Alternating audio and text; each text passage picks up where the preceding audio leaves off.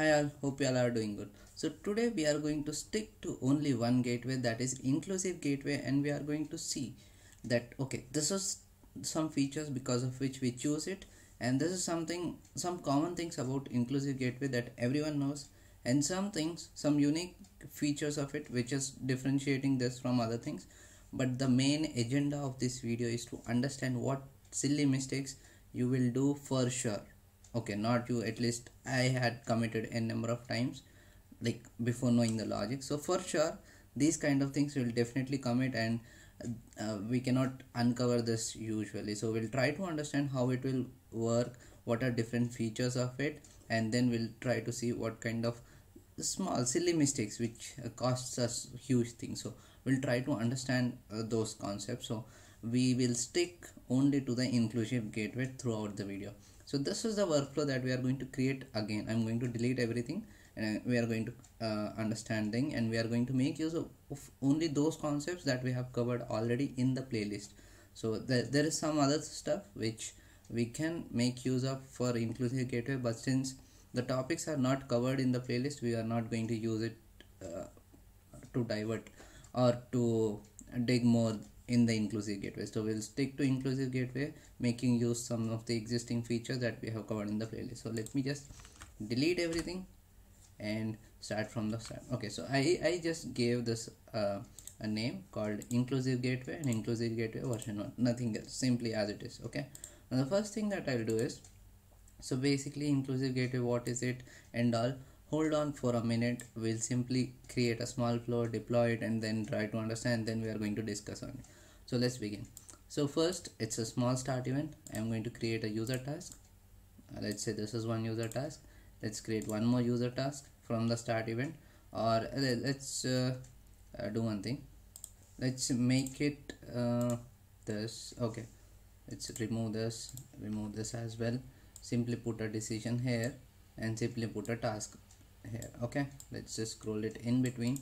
And now let's begin. So this is one thing and this is one and this is another user task and we are going to make this as our inclusive gateway. Not uh, we'll talk about the other gateways but not in this video. So we made it an inclusive gateway and we are going to uh, like let's say we are going to connect it to one more inclusive gateway. So why we are doing this? We'll get it in a minute. Another inclusive gateway and we'll simply connect it okay? And we'll say that okay. Now from here we are going to start one more set of uh, the user task. Let's say this is one user task. Okay. And let's say this is one more user task. And for the better understanding what we will do is we'll make sure that this point comes from here. Okay. And this point comes from here. Just for our understanding. Okay now let's select this. Let's select this point and drag in between. And select this point and drag to here. Just uh, to make sure that we are not getting into any kind of confusion. And let's end this process. Okay? Uh, bring this again to this. So that's it. No nothing else. So it's basically we are starting something. And the control comes to this gateway. And then we have two user tasks. And the control comes to this and we have some more set of user tasks. So how it is going to work? Let's make it a user task first.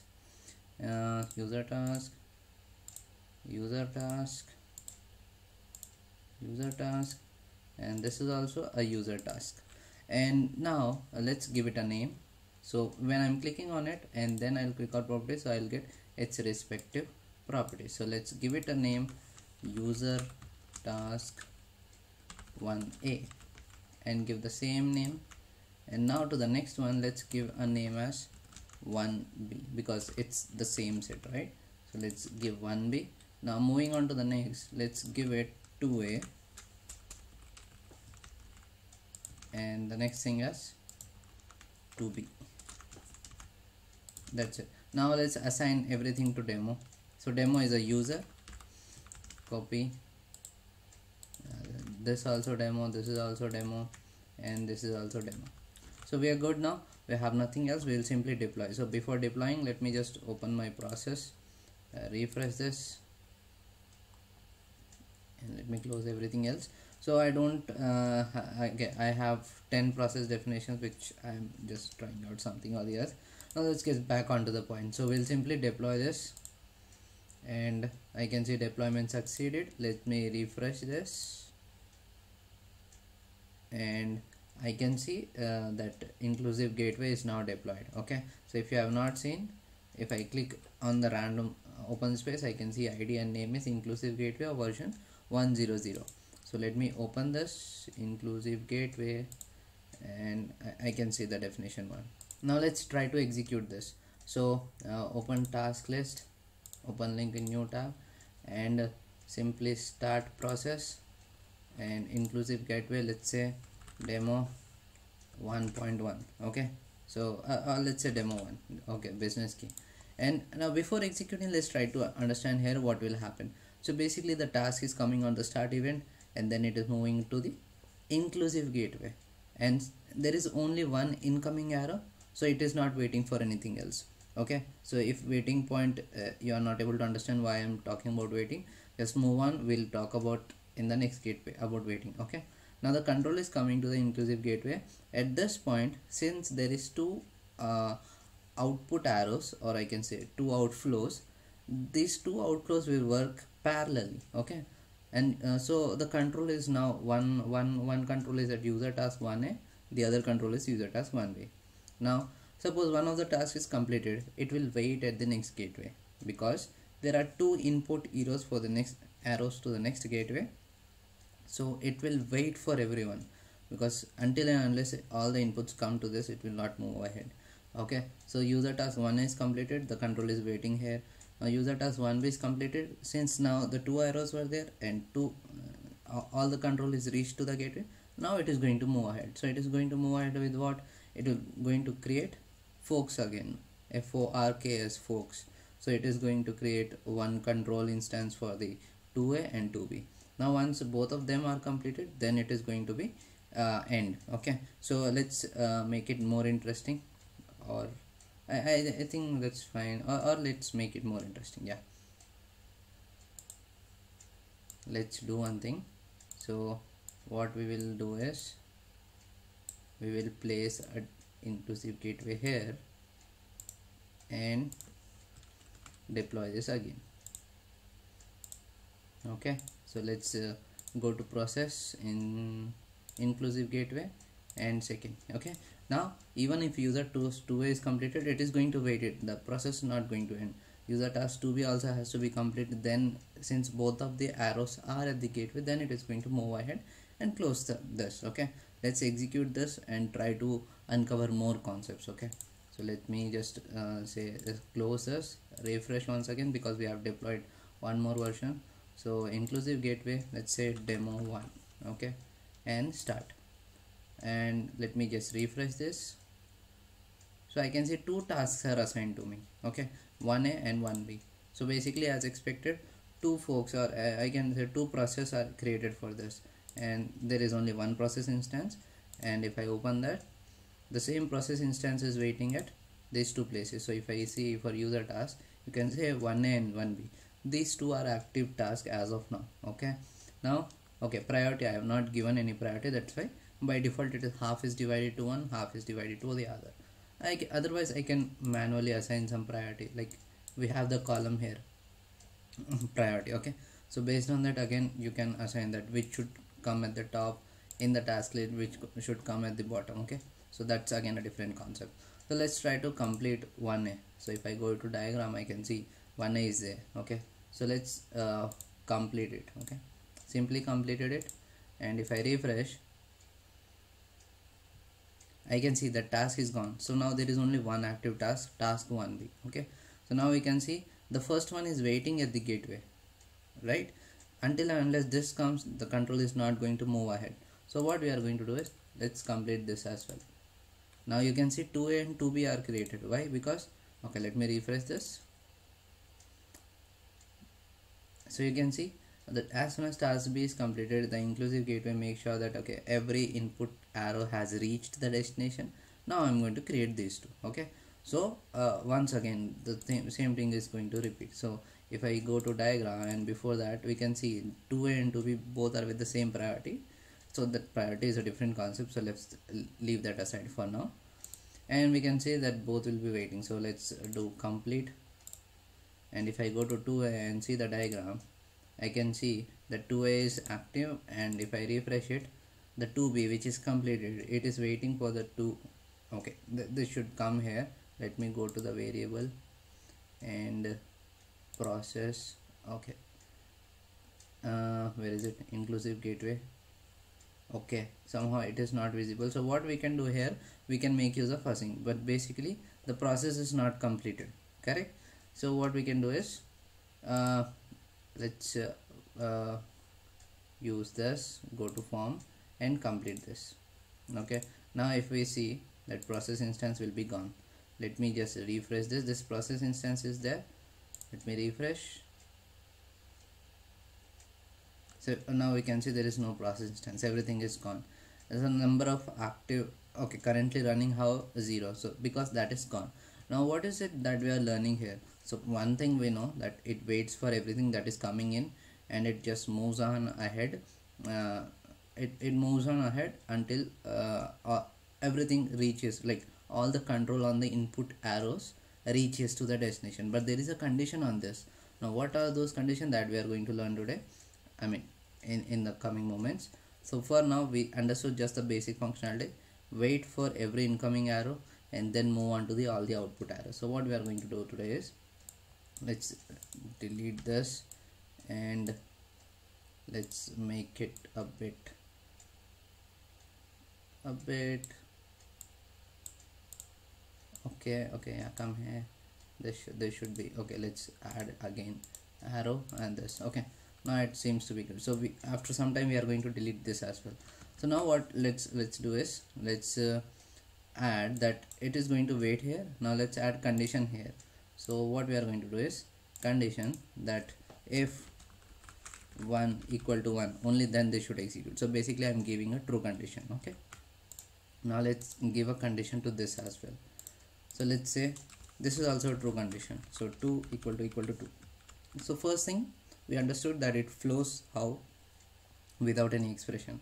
Now we'll see how it flows with the condition. Then then we'll see some new concepts coming in okay so let's deploy this. And now we should see the third version. Let's refresh this.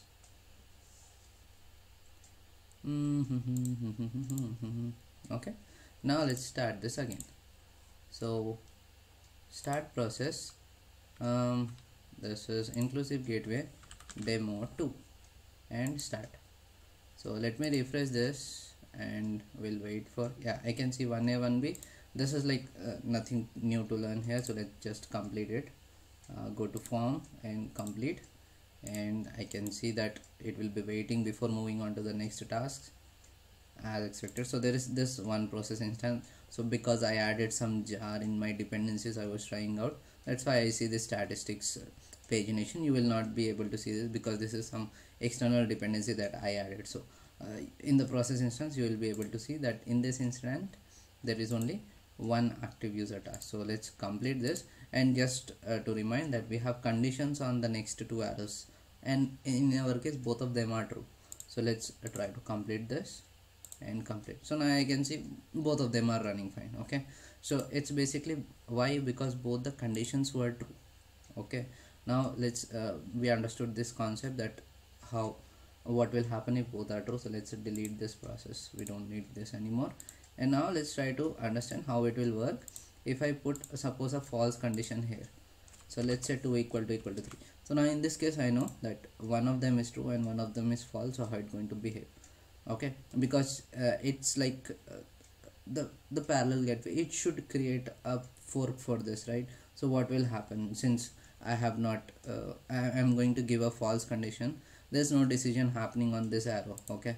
So it's just an expression which uh, whose output is true or false. So in this case 2b is going to execute or not okay? So you can pause here you can try it out and then you can try to analyze and then you can resume the video again. So let's deploy this once again. And there we go deployment succeeded. So if I go to cockpit I should be able to see version 4 refresh. And version 4 okay so let's uh, start the process once again. This task should be gone because we deleted the instance right? Start process and inclusive gateway demo 3 and start. So let's refresh this once again. And now we can see 1a and 1b is as expected. So let's uh, process this. Okay uh, just complete this and complete this and now I can say only 2a is there. What happened to the other one? The other one did not execute. Okay. So here uh, basically we are saying that I have 100 parallel flows and all the true conditions should execute. So this is fine. This is completely fine. Now the next thing that we are going to learn that is something very crucial. Okay. So this this we are good right? So this if, if it is true then fine. If it is not true then fine. Now what will happen if yeah there we go. So now we have one more thing okay? Now there is no condition. So if you have previously seen that if I don't give any condition okay what will happen now? Just just pause this and try to understand because there is a final thing that I'm going to show you which is completely different from the other gateway. So just hold on till the end. Now there is no condition at this okay so what is going to do? Is it going to just consider it as true? It is going to take some decision or what it is going to take? Okay so I, I i don't think this is required for us now so just remove this. Okay even this we don't need. So yeah this this one task is fine. Okay so let's stick to this. And what we are going to see is the task is going to come here and then we are going to see 2a or 2b because here I have something called true condition and here I have no condition so what is going to happen. So let me deploy this again. Save it and then deploy it. Deployment successful. And refresh this. Now I should be able to see version 5 I don't remember the demo uh, which demo number is it. So let me just go with the version. So demo it's it's going to be a demo 5 okay? So let we have to refresh it uh, to get the latest when we're doing the start process. And inclusive gateway so let's say demo 5 okay and start. So before making a start just a reminder the above one is a true condition the below one has no condition at all okay. So start and there we go. Now we see 2a and 2b why? Because there was no condition. So we just need to make sure it's just like an AND gate. So until and unless there is something which is stopping us the gate is open okay so until and unless false comes the gate will remain open okay? So the gate closed means what? The gate closed means this should be false okay? So that that condition we have already seen. Now what is unique about this is let's say i am saying this as a default flow okay? If i say it is okay before that uh, i hope this this thing is clear that uh, the above one was true condition the below one was having no condition but it was a default flow. So it means it is no it's not the default flow. It is having no conditions. That is it will also by default remains true as always. So here the words are, uh, need to be understood. The flow the second flow the below flow is going to be remain true by default. It's not that this is going to be executed by default. No it's going to be true by default. Okay? So let me just uh, uh, close this instance. We don't need it anymore so delete and it's fine. Now the main concept comes. The latest version is 5 as of now. Now the main concept is i'm making the below one as a default flow. So we have to understand what is meant by default. Default means if nothing else okay i have suppose 100 arrows here okay. If something if something runs in them that's fine. If nothing runs in them then it should come to default flow. So in our case this is going to be run only when the other flows none of them are true. Okay? So let's uh, just uh, consider one more thing here. Uh, let's say that this is something true. So in this case as per our understanding because this is default but there is something which is already running which is true the two way is not going to run. So let's take an example of that and deploy it again. And this is the de uh, deployment version 6 okay so let's start this. Just a reminder the second one is default but the first one is true already.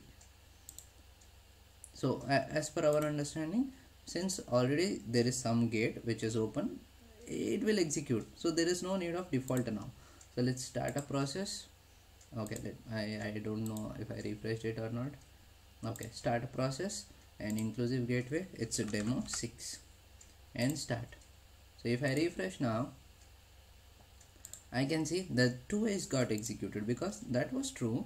So the default did not come into picture at all. So this default and the previously where there was no condition is different. Okay? So now I can you can see right? User 2 is there but the below 2 is not executed. I hope why it is happening that is clear clear okay? Now just to uh, show you as an evidence what we can do is let's make the above one as false condition. Okay? So if it is false then uh, there is nothing that is going outside. So the control will comes to the default which is user task 2b so here i'm just showing with the two flows. Let's suppose we have 100 flows and 99 of them are false. So the control will go to the default. But out of 99 even if one of them is true then the default will not come into picture but the control will go to the true one. So let's deploy this and refresh. We should be able to see the seventh version. Okay yes there we go. And let's uh, refresh this and start process. Uh, so this is inclusive gateway demo 7 so before starting once again the below one is default the above one is having the false condition. So start process. So now if I refresh it we can see 2b is coming way because the 2a was false condition the control by default comes to default. That's what the default meaning okay so i hope now the picture is clear. And uh, let's try to take one more last final example and then we will uh, wrap up this video. Uh, what happens it's it's a local host only it's, why it is taking so much time. Yeah there we go. So 2 2b is running in process so let's just delete this okay? Now this is what we have learned about when the flow is empty versus when the flow is default.